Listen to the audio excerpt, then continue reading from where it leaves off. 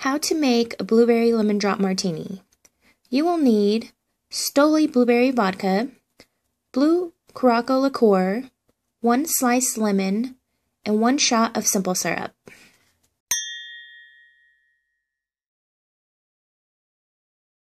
Today we'll be making a blueberry lemon drop martini and the featured uh, vodka today is going to be Stoli Blueberry.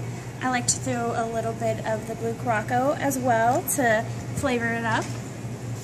First things first, start with your mixing glass, your mixing tin, your mixing cup. Get some ice. Now we're going to get the vodka, the Stoli Blueberry, and we're going to pour one and a half counts of these. So one full shot, pour it in, and then another half shot. Hopefully you're not a lightweight for this martini either. Okay, next thing, we're going to get the lemon juice and squirt it.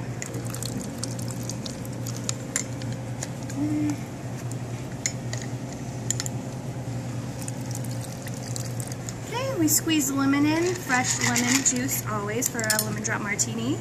Lemon drop martinis are usually made with Absolut Citron or any other citron flavored vodka, but I like to throw a little flavor in it. Next thing is going to be simple syrup. Simple syrup is going to be half sugar, half water. We're going to pour um, equal parts to the vodka and the um, lemon in there. Right, now we have all of our ingredients inside the mixing glass, the vodka, the lemon juice, and the simple syrup. We're going to go ahead and shake it. Always remember to shake with a smile.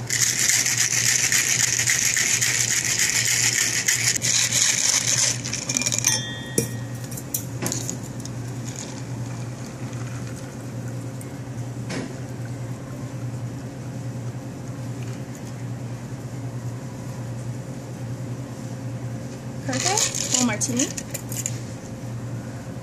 Okay. Last things last, we're going to get a little spoon and we're going to go ahead and float the, the blue Curaçao so it gives it a nice fun effect. I'm going to top it off with the lemon wheel. And there you go. Blueberry lemon drop martini.